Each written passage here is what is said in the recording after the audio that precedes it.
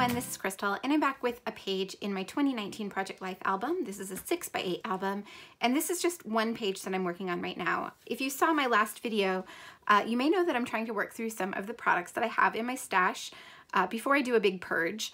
Um, and while I had the Everyday Musings out for that uh, 12 by 12 layout that I just completed, I decided to just go ahead and do a page in my Project Life album as well with those same products. So that is what I'm going to do. This is a page, this is actually Easter.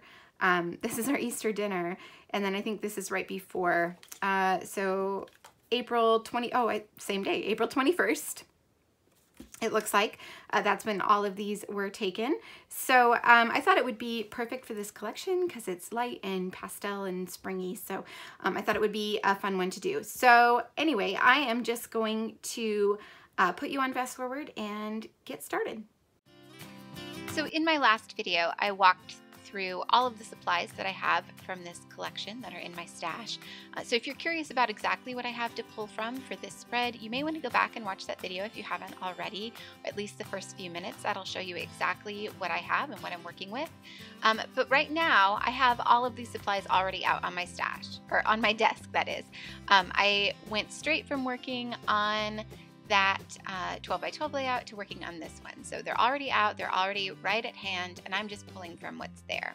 So I went through the papers first. I definitely chose one. It's kind of an ombre pink stripe. I want to use that behind my food photo. Uh, and then I was debating about the other one.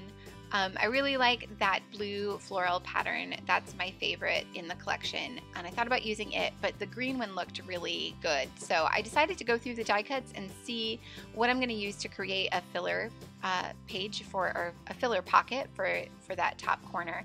And then that's gonna determine which of the papers I use. So I found this Bright Happy Days die cut. I thought that's perfect. I should use that.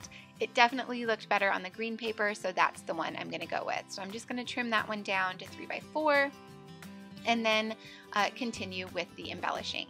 So this page came together super quickly because I had everything out and I was familiar with everything that was there because um, I had just worked with it. Uh, it, it came together really fast. So I love doing that. If I have the time to work on more than one thing at a time um, or in a row, uh, it definitely ends up going a lot smoother and a lot faster. So I'm pulling out the alphas that came in this collection and I want to add Easter, the title Easter, to that bottom photo. And um, so I'm just going to use, um, a, these are a variation in color. These alphas are um, multicolored uh, which always throws me a little bit, but I'm going to try and make it work. So I'm trying to get a good balance of colors. I don't want to pull in anything new. Uh, I want to keep it basically to the colors that are on the page already, which is why I uh, removed that red E and, and replaced it with um, a blue one. And also it just barely fits across this 3x4 card. So uh, that that red E had a flourish on the end of it, which would have been cut off. So I decided the blue one would have been better either way. And now I'm just looking for a label to put at the bottom of this card just to add a couple lines of journaling.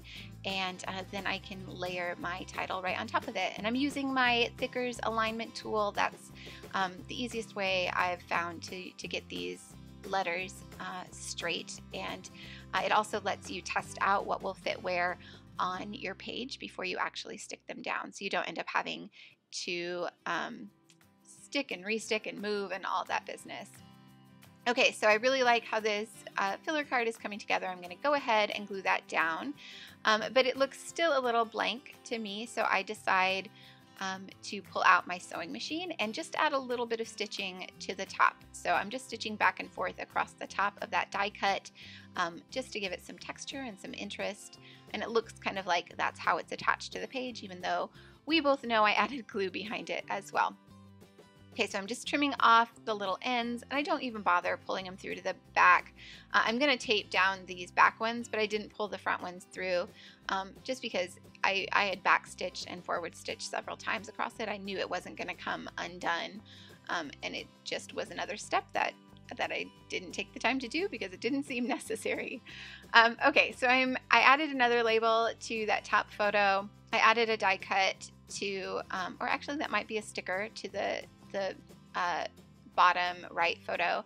And I'm just adding a few bits and pieces from the puffy sheets just to, to fill it in and give it, uh, again, another level or layer of dimension and texture and just to give it that finishing touch. And then that is pretty much it, I think. I do have to add my journaling. Um, and I just add a couple lines of journaling to each of those labels. Um, nothing really crazy to talk about. It was Easter Day. I had, I bought myself some flowers because why not? And um, we had our traditional Easter dinner, which is ham and cheesy taters. And we usually call it ham and cheesy tater days, or ham and cheesy tater day, because it's the only time we eat that meal all year. Um, okay, so that's going to be it. There are some close-up photos coming up. I hope you enjoyed this very quick spread. Uh, if you did, please do give it a thumbs up. That lets me know that you have liked it and that uh, I should do more of it. Uh, and if you haven't already subscribed, be sure to hit that subscribe button as well. Thanks again for watching. I hope you all have a wonderful day.